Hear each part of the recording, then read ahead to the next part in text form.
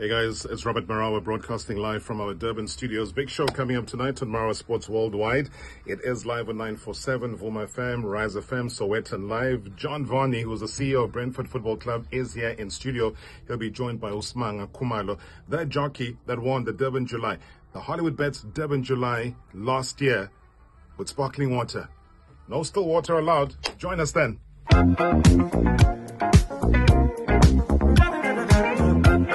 Thank you.